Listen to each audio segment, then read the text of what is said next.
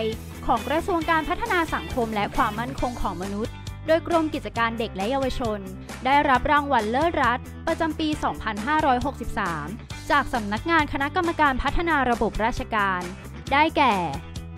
ผลงาน รถไฟพัฒนาการ จากสถานสงเคราะห์เด็กอ่อนรังสิตได้รับรางวัล สาขาบริการภาครัฐ ระดับดี ประเภทนวัตกรรมการบริการ รถไฟพัฒนาการ ตัวนี้นะคะเป็นเครื่องมืออที่เราคิดค้นขึ้นมาใหม่นะคะ ซึ่งยังไม่เคยมีมาก่อนนะคะ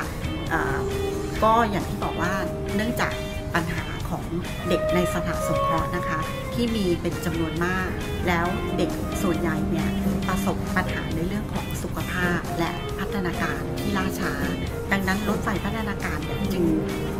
เข้ามาตอบโจทย์นะคะในเรื่องของ การกระตุ้นพัฒนาการเด็กโดยพี่เลี้ยงสามารถทำได้เองนะคะ โดยที่ไม่ต้องรอครูพัฒนาการ ผลงาน UD Network เครือข่ายอุดรสร้างสุข จากบ้านพักเด็กและครอบครัวจังหวัดอุดรธานี ได้รับรางวัล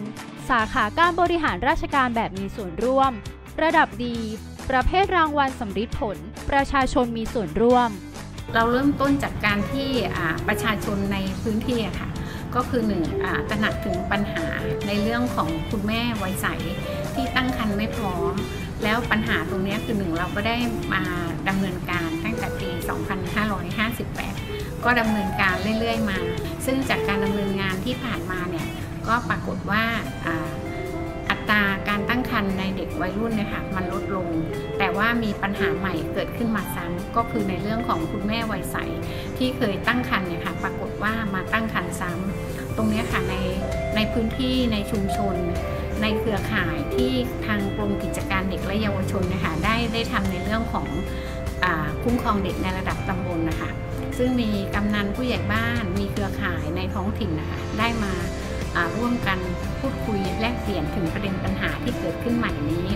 แล้วเราก็เลยเลยได้ร่วมไม้ร่วมมือกันโดยบ้านเป็ดนะคะได้เป็นพี่เลี้ยง แล้วก็เข้ามาสนับสนุนในการดำเนินงาน โดยการมีส่วนร่วมจากคนในชุมชน ซึ่งจากการดำเนินงานที่ผ่านมาเนี่ยก็ทำให้ปัญหาเรื่องของการตั้งครรภ์ซ้ำในวัยรุ่นที่ที่เราเรียกว่าลูกคนละพ่อในแม่เดียวกันเนี่ยค่ะปัญหาตรงนี้ก็คือลดลง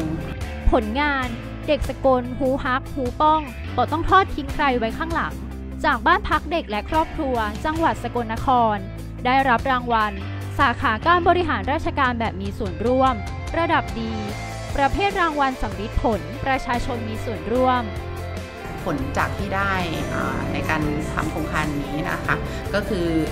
ทำให้เรามองในเรื่องของ การดูแลเด็กในครอบครัวนะคะในอย่างเช่นในเรื่องของการตั้งครรภ์ไม่พร้อม ในเรื่องของการป้องกันปัญหาในเรื่องของยาเสพติดนะคะทำให้เด็กในชุมชนนะคะ โดยสภาเด็กเนี่ยจะมีส่วนร่วมในการรณรงค์ในการป้องกันและแก้ไขทำให้ชุมชนเนี้ยมีคุณภาพที่ดีขึ้นกรมกิจการเด็กและเยาวชน ขอชื่นชมทั้ง 3 หน่วยงานที่ได้รับรางวัล ให้กำลังใจทุกหน่วยงานที่ส่งผลงาน